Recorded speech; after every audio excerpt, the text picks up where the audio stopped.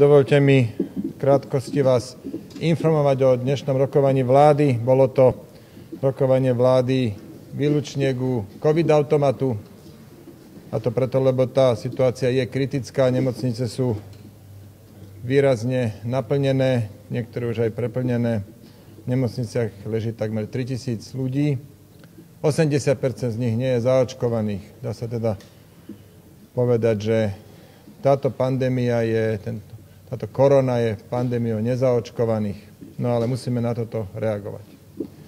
Bude platiť nový COVID automat, COVID ktorý bude prísnejší pre nezaočkovaných a v krátkej budúcnosti do troch týždňov by mal byť slobodnejší, voľnejší k zaočkovaným. E, nie i hneď, ale o nejaké tri týždne by mali tieto výhody dojsť.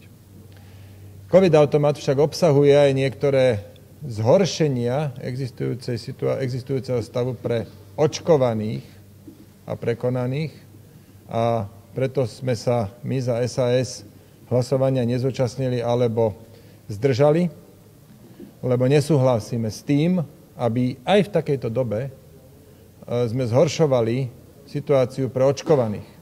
Celé mesiace sa snažíme národu vysvetliť, že ľudia, dajte sa zaočkovať, budete to mať jednoduchšie, hovoríme, že očkovanie prináša slobodu, tak potom nemôžeme súhlasiť s tým, že príjmeme dokument, ktorý situáciu pre očkovaných zhorší. Preto sme sa zdržali kvôli tejto veci, ale so zvyškom COVID-automatu, so sprísnením podmienok pre nezaočkovaných súhlasíme. Toľko to v krátkosti odo mňa. Nech sa páči vaše otázky, či už na mňa, alebo na šéfku zdravotného výboru Janku Ciganikovú.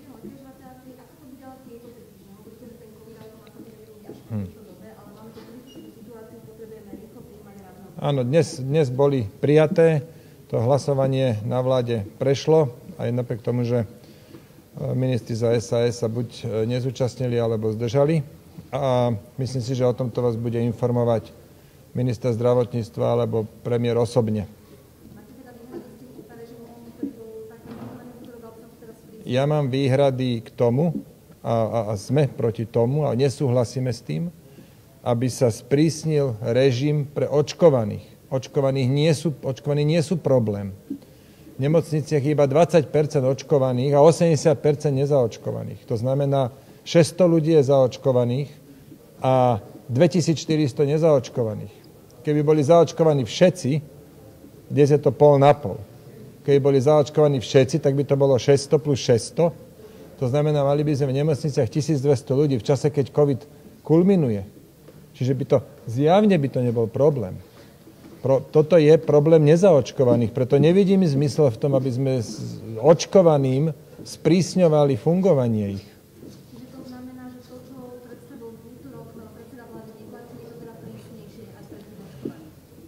Povedia vám detailnejšie a... Prosím pekne, očkovaní sú, teraz čo bol sprijatý COVID automat, tak je tam mierne sprísnenie v niektorých e, štádiách, napríklad pri športe alebo pri hromadných podujatiach aj pre očkovaných. Chcem povedať aj očkovaným, nie je to nič, e, s čím nebudú, nevedia žiť. Jednoducho je to znesiteľné. Veľmi sme bojovali za to, aby ani k tomuto sprísneniu neprišlo. A to najmä preto, lebo máme úplne rovnaký cieľ a tým cieľom je, aby v nemocniciach bolo menej ľudí, lebo toto je obrovský problém. Naozaj nám tu zastavuje biela medicína kvôli tomu, že v nemocniciach je veľa ľudí, ako povedal Richard Sulik, drvia väčšina je neočkovaných. Ale a považujem aj za nekorektné hovoriť, že SAS blokovala nejaké rozhodnutia, pretože my sme dostali e, v útorok návrh na kompletný lockdown pre úplne všetkých aj preočkovaných. A teraz poďme sa pozrieť na ten rozdiel. Toto je jedna cesta k cieľu znížiť počet v nemocniciach. Druhá cesta k cieľu je motivovať ľudí, aby sa očkovali. V obidvoch prípadoch uvidíme rozdiel až o niekoľko týždňov. Keď teraz urobíme opatrenie, v nemocnici sa mi to ukáže o 2 o 3 týždne. A jediný rozdiel je v tom, že keď dnes sa za tie 2-3 týždne podarí motivovať čo najviac ľudí, aby sa očkovali tým, že ich nebudeme obmedzovať a naopak budeme len neočkovaných obmedzovať, tak to je trvalé riešenie. Už sa nám nevráti tá situácia znova a znova a znova. Kdežto keď urobím lockdown, tak som v podstate nič nevyriešila, len som demotivovala tých očkovaných, ktorým sme doteraz hovorili, že budú mať slobodu Demotiv- ne, nevytvorila som motiváciu tých, ktorí očkovaní nie sú, aby sa očkovali, lebo vlastne nie je žiadny rozdiel, keď sa očkujete, alebo nerovnako ste v lockdowne. A toto je veľký problém, pretože o tri týždne, keď to povolíme, opäť sa nám nahrnú neočkovaní do nemocníc a znova sme v tej istej situácii. Preto pre nás bolo veľmi dôležité, aby sme očkovali, očkovaných motivovali, neočkovaných obmedzili, áno, to je správne, a zároveň sme volali potom, aby bola lepšia e, kontrola tých opatrení, aby uh, takisto boli odmeňovaní tí, ktorí očkujú, aby boli zverejňované dáta v rozdelení očkovaní, neočkovaní. Myslím si, že SAS urobila veľký kus roboty práve preto, aby sa ľudia očkovali. A nie je korektné hovoriť, že sme opatrenia nejakým spôsobom zdržovali. Naopak, my sme navrhovali skutočné riešenia.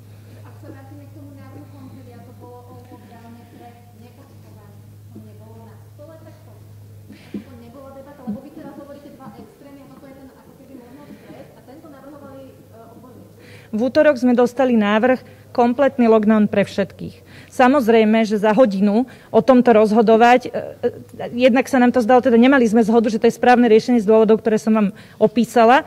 A, a jednak ako naozaj to bolo aj necelá hodina, ktorý sme mali čas na to rozhodnúť o takomto dôležitom riešení, tak takto rýchlo, ani keby to bol iný návrh, tak... Počkajte, s tými sme ale my predsa súhlasili. Tie boli všetky zapracované, aj s nimi súhlasila, to už prebehlo.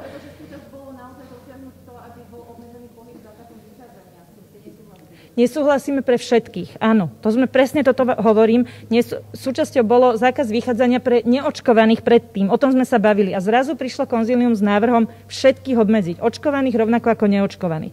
Čo je problém? Toto spôsobí obrovskú stratu dôvery voči tým slubom, ktoré sme tým ľuďom hovorili a samozrejme demotiváciu sa očkovať. Ale opakujem ešte raz, že v útorok sme dostali návrh, teda komplet všetko.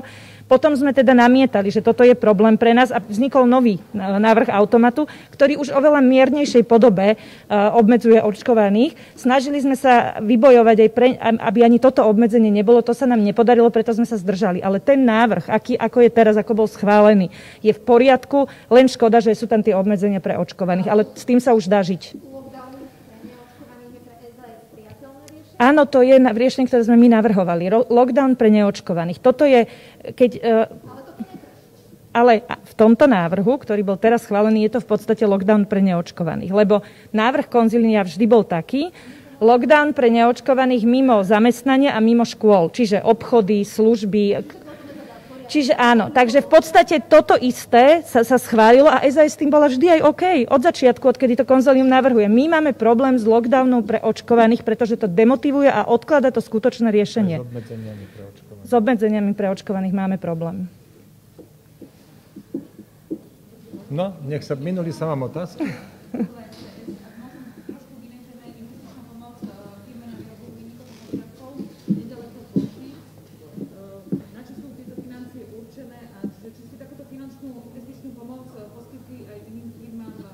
Aká firma? Huntman. No v Kechneci, áno, tu sme schválili e, v útorok 159 e, nových pracovných miest. Je to na východe, to znamená práve takouto pomocou znižujeme regionálne rozdiely, lebo tam tvoríme kvalitné, solidné pracovné miesta. A čo je, čo ešte mňa potešilo, že tá intenzita tej e, investičnej pomoci je veľmi nízka, je to len niečo vyše 5 Čiže za takýchto podmienok navrhnem komukoľvek schváliť investičnú pomoc.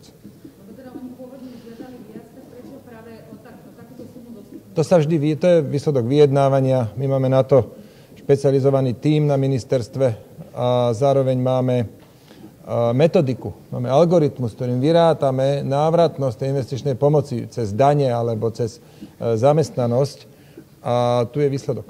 Hej. Toto je výsledok, výsledok aj nášho rátania, aj spoločného vyjednávania.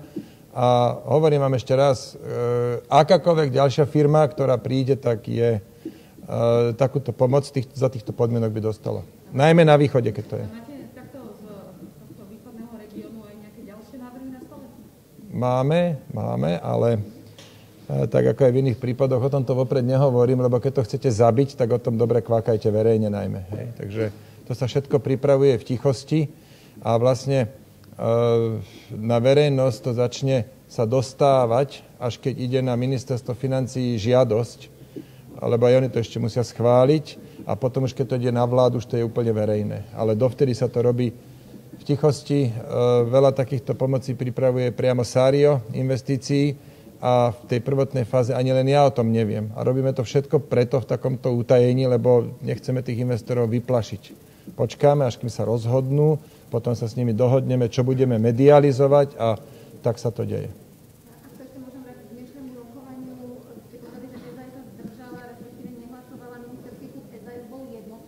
No bol jednotný v tom, že sme sa dohodli nepodporiť sprísnenie pre očkovaných s tým, že ja som e, ostal na vláde a som sa zdržal pri hlasovaní a moji dvaja kolegovia, ktorí tu boli dnes prítomní, Maria Kolíková a Braňo Gröling, na vládu opustili. No nie, my sme, pre nás je dôležité, aby ministerský klub bol jednotný. V tomto prípade jednotne sme nepodporili sprísnenie pre očkovaných. No, oni neboli na, na, na, na rokovaní a ja som bol a ja som sa zdržal. Každý mal možnosť si, si vybrať, e, akou, akou formou chce svoju, svoj nesúhlas so sprísnením pravidel pre očkovaných dať najavo.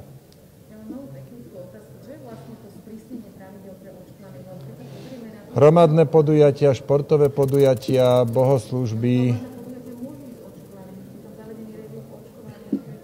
Nie, to je tak, že sa to, sa to znížilo napríklad vo fialovom a v červenom pásme je dnes e, no limit a to ide na, na 200 alebo, alebo na 150. Áno. To znamená, že minulý týždeň boli na Slovensku, boli v Bratislave majstrovstva Slovenska v tenise kapacita bola odhadom 4200 ľudí, je kapacita toho štadiónu a reálne prítomných tam bolo možno 600, ale po novom by to už mohli byť iba 150, samozrejme očkovaných.